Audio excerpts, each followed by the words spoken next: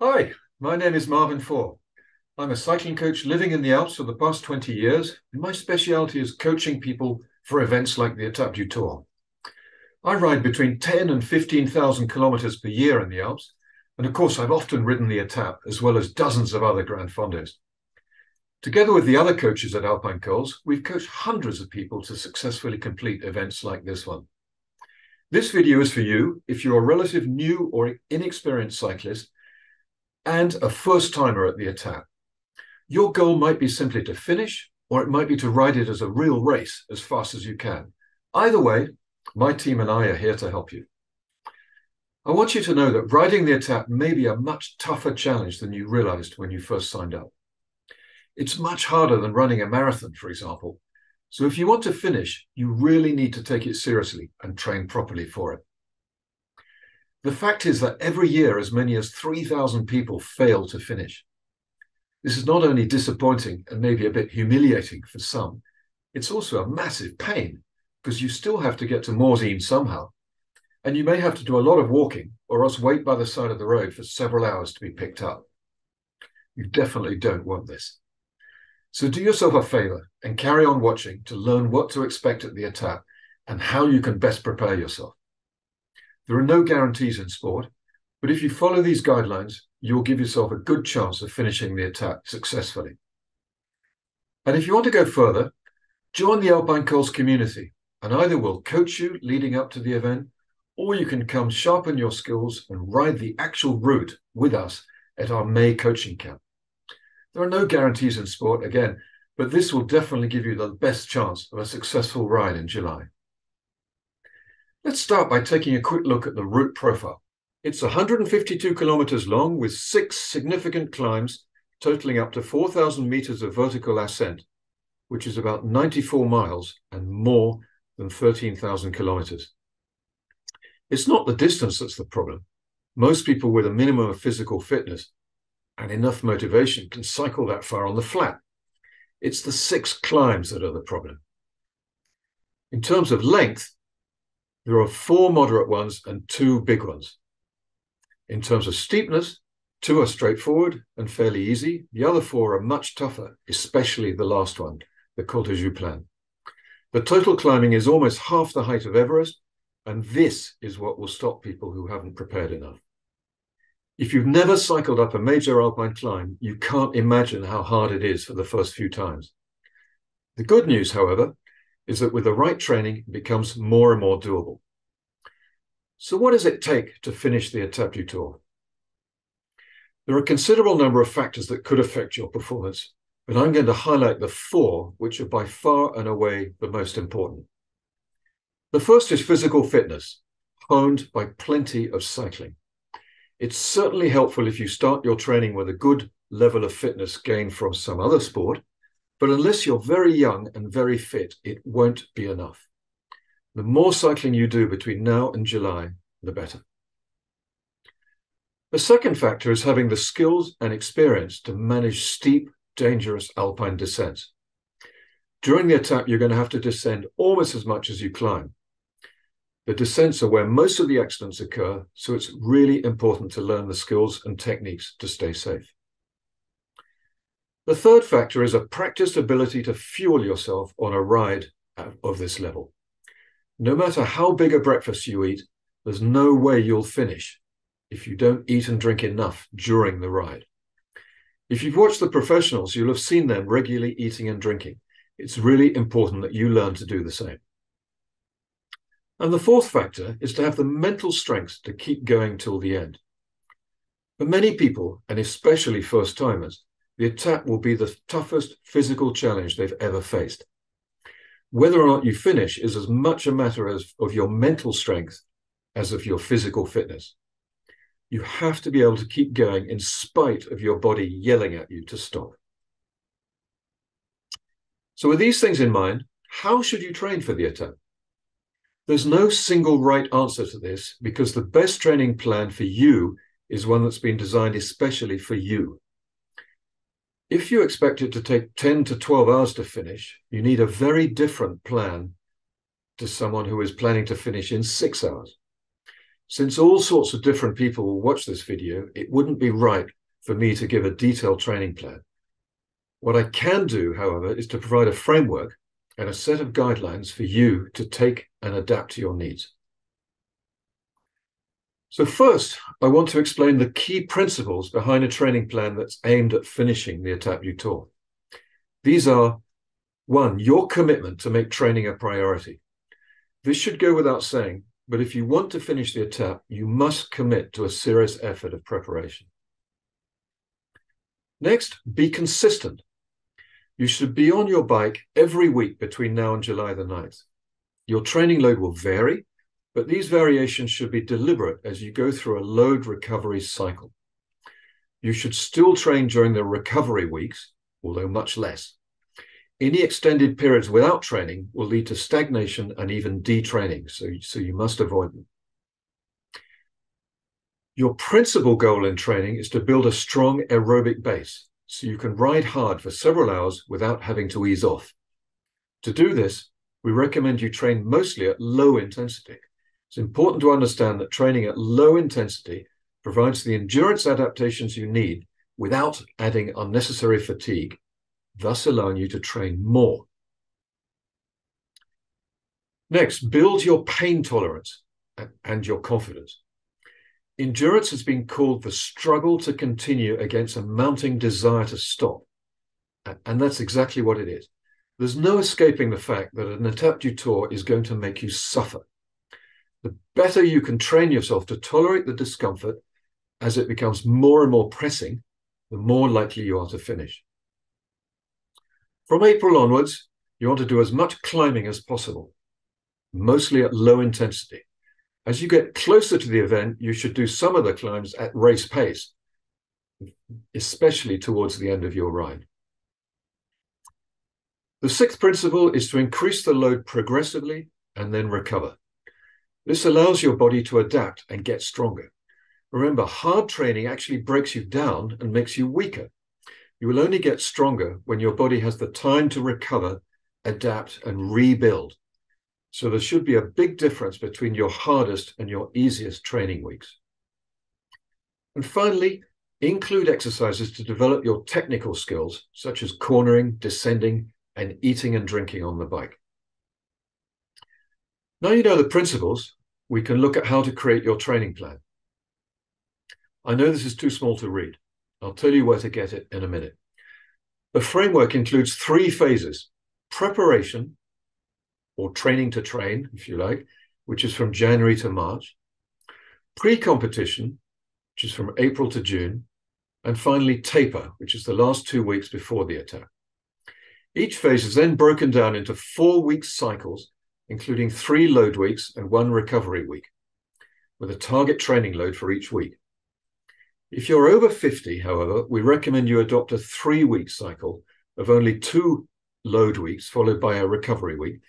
And this is because you'll take longer to recover than a younger person. You can download this plan from the Alpine Cols website in the blog section, or just send us an email at info at alpinecols.com. It's important to understand that such a structure is essentially arbitrary, and it takes no account of the total stress the life stress plus training stress that you will be under on any particular day. If you feel stressed and tired, and if you have sore muscles, it would often be better either to take a very easy day or not to train at all until you've recovered. Remember again, hard training breaks you down. You only get stronger during recovery. So, how do you take this framework and customize it for you? Step one is to identify your constraints. It's best to be pragmatic about this. Pull out a calendar and mark off all your known constraints between today's date and the Etape du Tour on July the 9th. These might include work, travel, family commitments, or anything else that will prevent or severely limit, severely limit your training on any particular day. Be realistic. Confirming it with your partner and family might save a lot of misunderstandings and arguments. Once you've thought this through, you can block off week by week the training time you'll have available. You'll probably end up with something that's quite a long way from ideal, but that can't be helped. It's the same for everybody. Adjust things as much as you can to respect the principles of increasing the training load followed by recovery in three or four week cycles. Step two is to plan your daily training time. Go through the calendar day by day and mark the amount of time you're ready to dedicate to training. Again, be realistic. If your goal is simply to finish the Etape as opposed to riding it as fast as possible, there's no need to become single minded, so long as you keep up a minimum consistent level of training. It's hard to give an exact figure that would apply to everybody, but you won't go far wrong if you target five hours per week on average from now to the end of March, and then increase this to eight weeks, uh, sorry, eight hours per week on average for the last three months. Unless you're retired or have a different work pattern, most of your free time will be at the weekends. It's not advisable, however, to ride only once or twice a week. It obviously helps if you can ride to and from your workplace, but if it's not possible, you'll need to find another way to ride at least at once, uh, mid, at least once midweek. Doing it at home on a turbo trainer is absolutely fine. Assuming you're working Monday to Friday, your weekly schedules could look something like this. The first two rows in this table are examples for hard and easy weeks during the preparation phase, January to March, and the last two rows are for the two types of week during the pre-competition phase, April to June. Notice the big difference between the training time in the two types of week in the preparation phase, where we have six and a half hours for a hard week and three hours for an easy week. And again, in the pre-competition phase, where we have 10 hours for a hard week and five hours for an easy one. The key point is to adapt it to suit your own constraints and your lifestyle. There's nothing magic about taking Friday off, for example. Many people take Monday off as their zero training day, and that's absolutely fine. Now you have the time available to train on a day to day basis, you can plan your daily workouts. We're going to take the example of a hard week during the preparation phase. Based on the time you have available, you simply need to place the workouts as best you can on your schedule. The minimum time for a cycling workout is 30 minutes or so, uh, so if you only can, so if you can only spare 15 or 20 minutes, then it's best to do a yoga session instead. So in this example, I've placed yoga sessions on Monday and Wednesday with a short, low, low intensity ride on Tuesday. Thursday is a hard interval session, Friday a day off to recover, Saturday another short, low intensity ride, and Sunday a long, low intensity ride. Please note there's nothing magic about this. And again, everybody's plan is going to look a bit different. You need to do something like this for every week between now and July the 9th. Your plan's almost certain to need updating several times between now and July as additional constraints such as family or work events get added. When this happens, just go ahead and adapt the plan. If the new constraint only affects a single day, you can either skip the planned training session altogether or replan it for another day. The new constraint uh, affects several days. It may make sense to plan the periodization so that you train hard in the period when you can't train anyway, and then you can train normally when when when you have time. The end result of all this work will be your own personal and unique training plan, including the number of hours you plan to train day by day, every day between now and July the 9th. This may seem like overkill, but believe an experienced coach. It will give you the best chance of reaching your goal of earning a, the coveted finisher's medal at the Etape du Tour. Remember the old adage fail to plan equals plan to fail. The quote's been attributed to all sorts of famous people from Benjamin Franklin to Churchill, but it's totally appropriate here. If you don't plan your training, things will get in the way and you will end up not only training less, but also less effectively, which comes down to planning to fail. Now, I'm going to get into the details of the workouts. During the preparation phase from January to March, a typical high volume, hard week should look like this.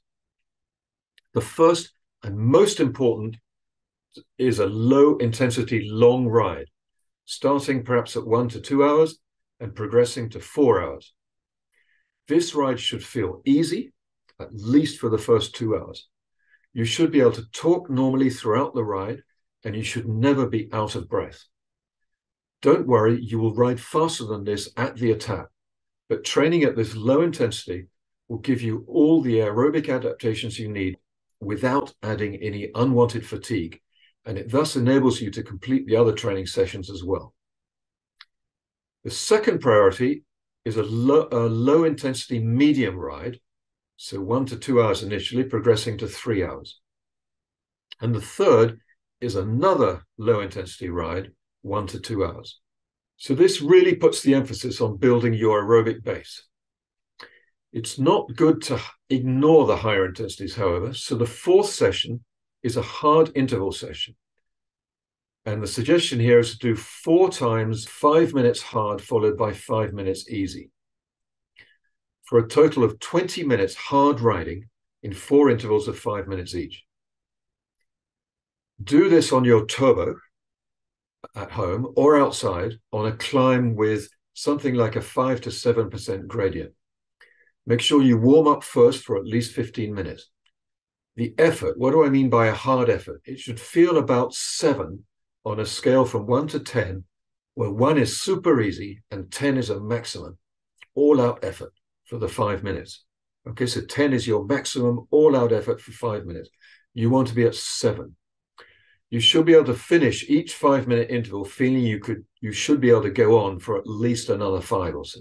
After six weeks, you can add a fifth interval. The fifth session is a mobility and flexibility one, something like Pilates or yoga. Do 15 to 30 minutes of this. This is important because cycling will get will stiffen up your muscles and it only uses them in a particular way. So you, you need to work on your flexibility. The sixth session would be a recovery ride, just one hour, really easy. And the seventh session, another mobility and flexibility, Pilates or yoga type session. Now, these seven suggested sessions are in order of priority. Do as many as you can, but in this order. If you can only manage the first four or five sessions, that's fine. Still during the preparation phase from January to March, a typical low volume, so easy week, should look like this.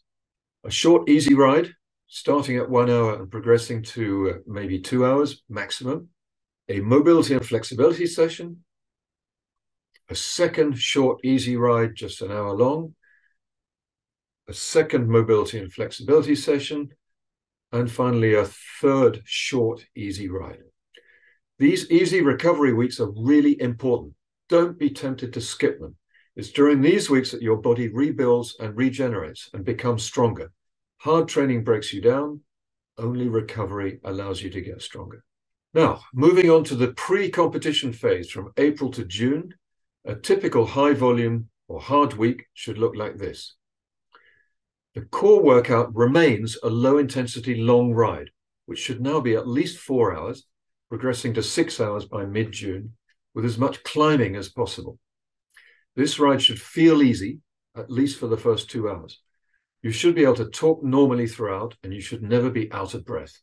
The second priority workout is a tempo interval session meaning a ride with some intervals at race pace, the sort of pace you'll ride at on the Etape. The pace should feel about five on a scale of one to 10, where one is super easy and 10 is maximum. I suggest doing two or three times about 20 minutes. You should be able to finish each 20 minute interval feeling you could go on for another 20 minutes. Do this on climbs during a two to four hour ride. As an alternative, if you're in a club, you can join a medium pace club ride perhaps twice a month in May and June.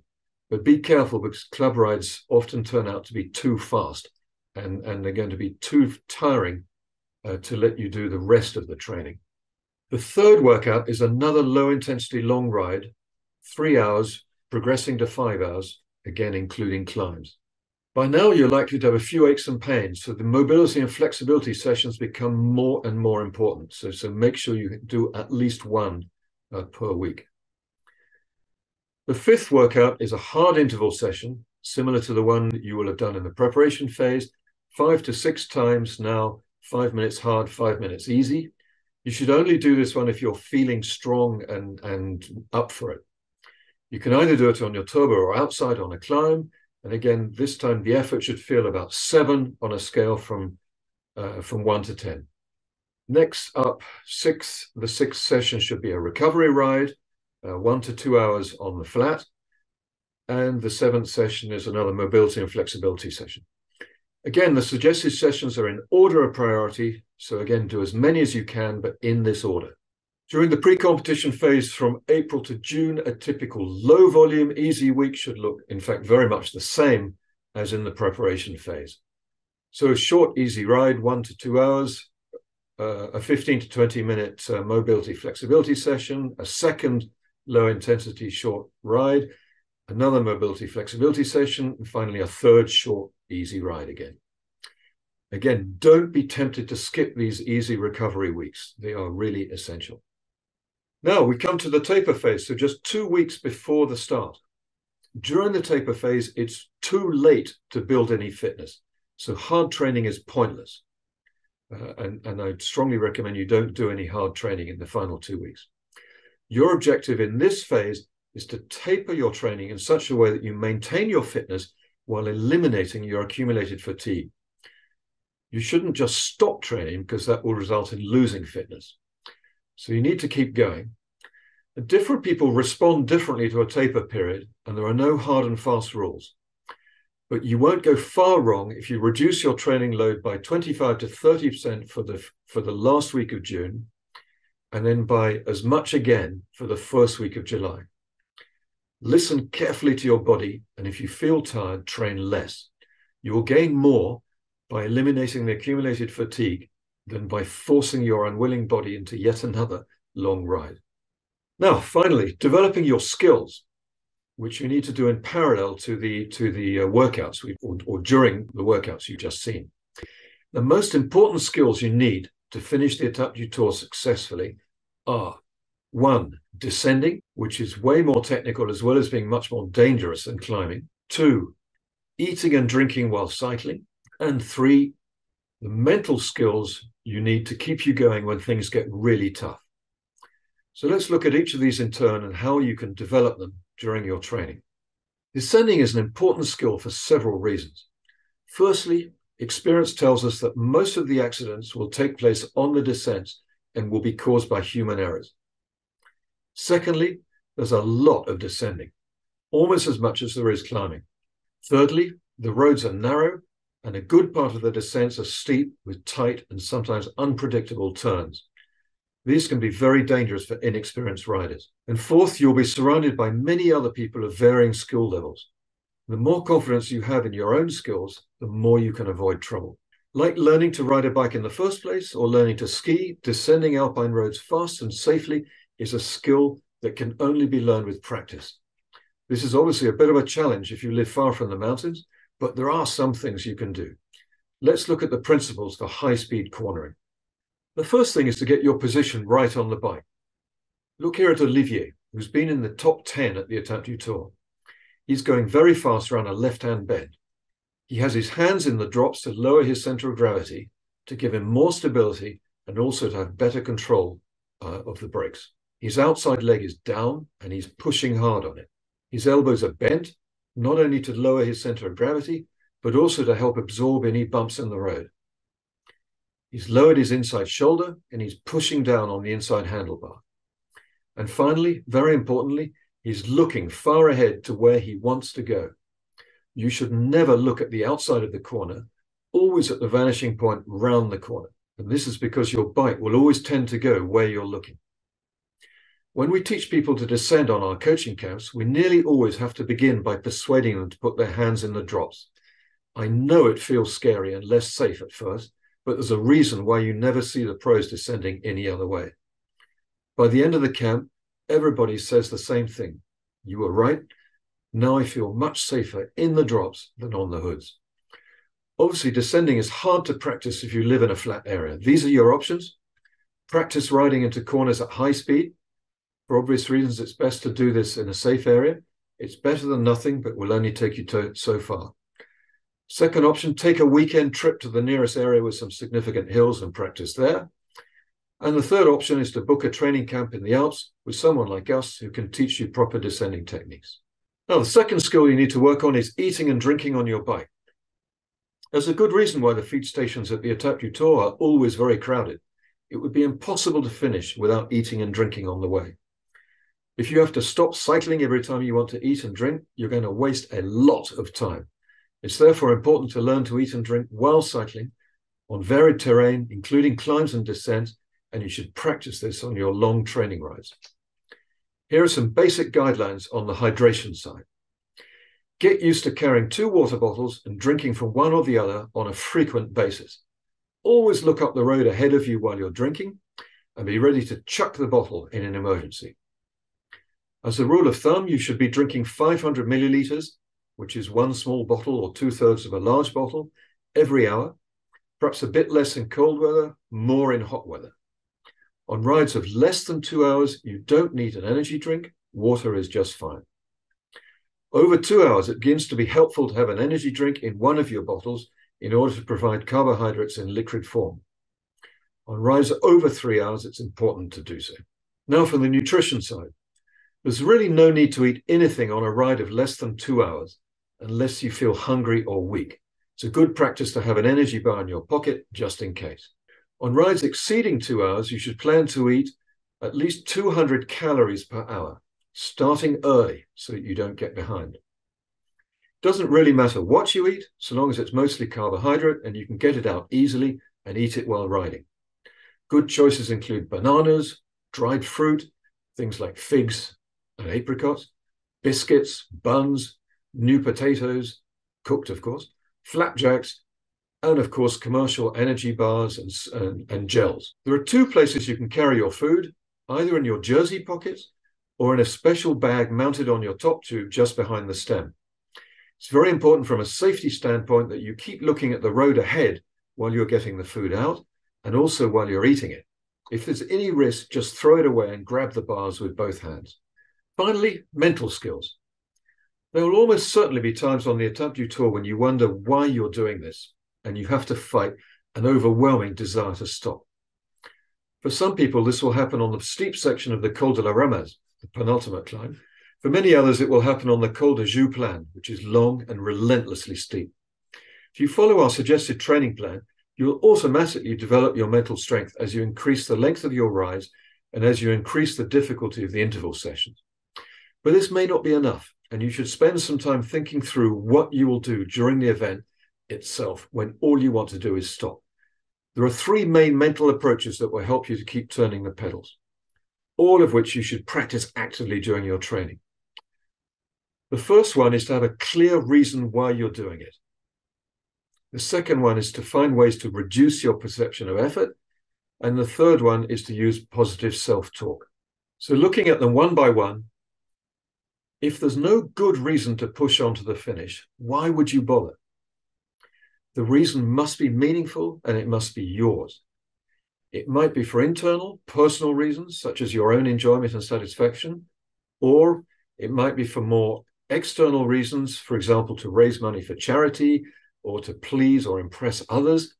Both internal and external motivations are valid and not mutually exclusive, by the way, although psychologists tend to agree that internal motivation is usually more powerful.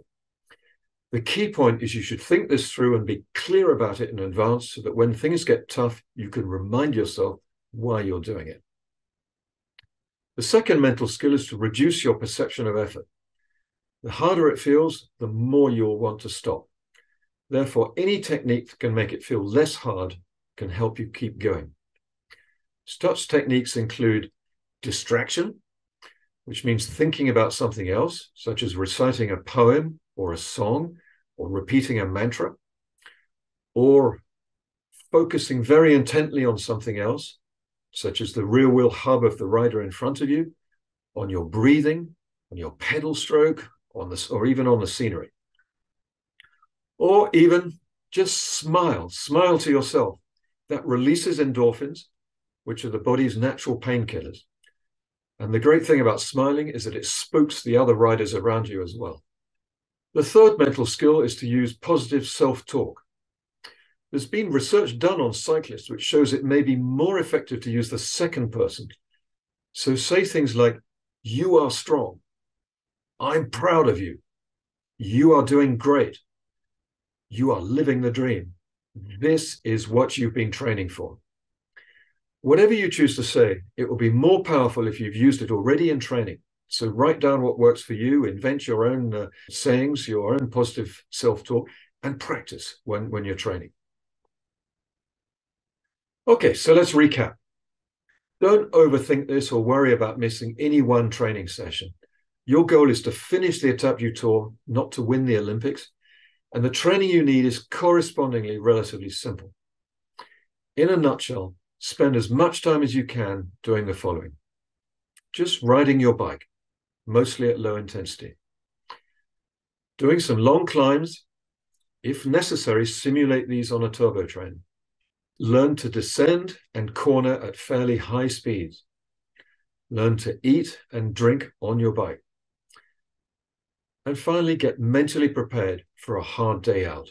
It's not going to be easy, but it definitely will be doable if you prepare yourself right. If you would like help with any of this, please like the video and put your questions in the comments below, and I'll respond very quickly. If you want to give yourself the best chance of success, Join our special Etape du Tour coaching camp starting on May 20. The camp includes a complete recce of the course, as well as plenty of coaching on your skills and tips to have a great day out on the bike. We're also including a one hour coaching session as soon as you book in order to help you customize your training plan and get ready. And if you want to go even further, you can ask us to coach you week by week on a one on one basis. For more information, check out our website, alpinecols.com, or contact me directly at info at alpinecols.com. This is Marvin saying thank you for listening, good luck with your training, and hope to see you on July the 9th.